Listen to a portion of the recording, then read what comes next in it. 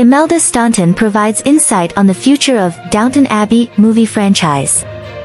The anticipation surrounding the future of the Downton Abbey movie series has been met with some clarification by Imelda Staunton. Addressing the swirling rumors and speculation, the esteemed 68-year-old actress, known for her roles in both stage and screen, sheds light on what lies ahead for the beloved franchise.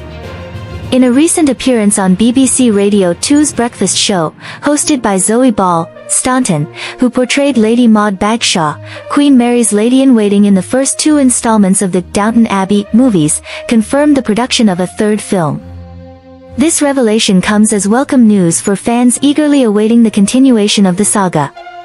Staunton's affirmation of the upcoming sequel came in response to Ball's inquiry about the swirling rumors surrounding Downton Abbey.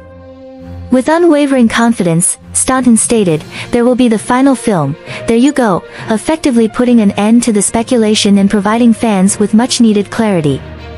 Despite the significance of the announcement, Staunton's demeanor remained nonchalant, even in the face of potential repercussions for disclosing such news. When Ball humorously expressed her hope that Staunton wouldn't get into trouble for spilling the beans, the actress responded with a carefree attitude, stating, I don't care.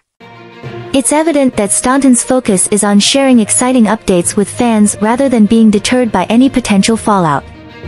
Staunton's comments come on the heels of a report by The Sun, which hinted at the details surrounding the third Downton Abbey movie. According to the publication, filming for the anticipated sequel will take place at the iconic Highclere Castle during the summer months, with plans for a premiere slated for the following year. Additionally, speculation arose regarding the potential return of Paul Giamatti, known for his role as Harold Levinson, who could reprise his character following his appearance in the 2013 Christmas special. The prospect of revisiting the grandeur of Highclere Castle and witnessing the return of beloved characters has reignited excitement among fans of the Downton Abbey franchise. With Staunton's confirmation, coupled with the tantalizing details provided by The Sun, anticipation for the third installment continues to mount. For devotees of the series, the announcement of a new, Downton Abbey, film represents more than just cinematic entertainment, it's an opportunity to immerse oneself once again in the opulence and drama of early 20th century British aristocracy.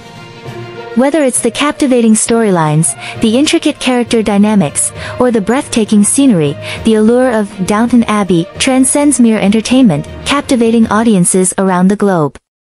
As production gears up for the latest installment, fans can expect to be transported back in time to the enchanting world of Downton Abbey, where aristocracy and modernity collide, giving rise to a captivating narrative that continues to captivate audiences of all ages. With Imelda Staunton at the helm, leading the charge into the franchise's final chapter, the future of Downton Abbey looks brighter than ever before.